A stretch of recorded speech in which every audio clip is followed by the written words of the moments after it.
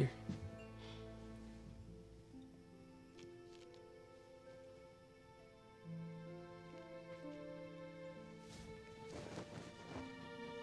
Why did you just take off your shirt?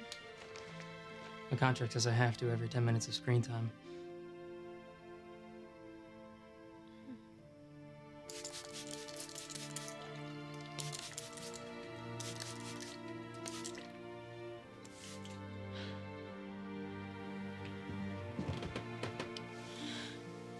Look, I really like you, Becca. When I'm with you, I just feel so safe and secure. As opposed to how I feel about Edward. I mean, with him, it's all about my vagina. Okay,